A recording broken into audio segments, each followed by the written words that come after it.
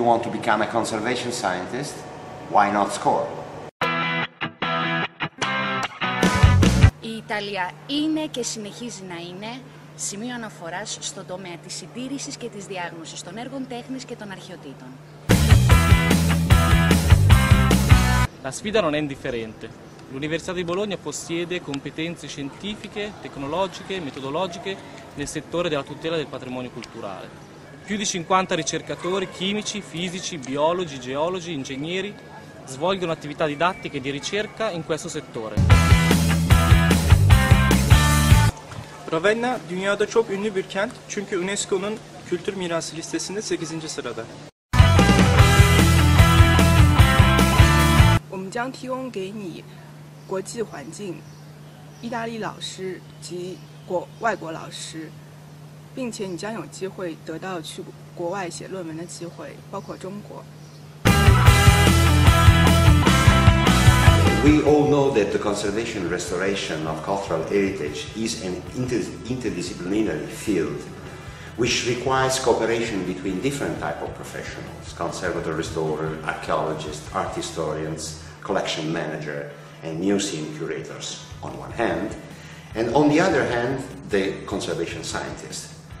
The master degree course is, is um, of course open to students coming from all around the world. It will be all taught in English and contains a very interesting syllabus which has been decided and developed internationally as a consequence of two European projects which were specifically aimed at the development of this curriculum. Students, of course, will be confronted not only to taught courses, but also to a very huge amount of laboratory work. Actually, the percentage of lecturers, if compared with the laboratory session, is almost 50 to 50.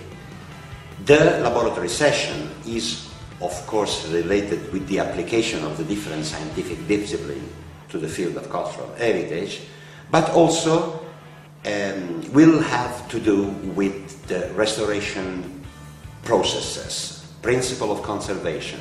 That all these, all these courses will, of course, not be taught by scientists, but will be taught by, directly by conservative restorers with whom we have close relationship which we have developed. The last part of the, of the two-year master degree course foresees the implementation of the experimental thesis. And thanks to collaboration that we have with many different laboratories all around Europe and the world, such as the Louvre Scientific Laboratory at the Museum of, uh, at, at the Louvre Museum, or the National Gallery in London, or other uh, prestigious institutions in Europe, students will be allowed to spend their time in, during the implementation of the experimental thesis there. So let's stop wasting time. It is time to start working again.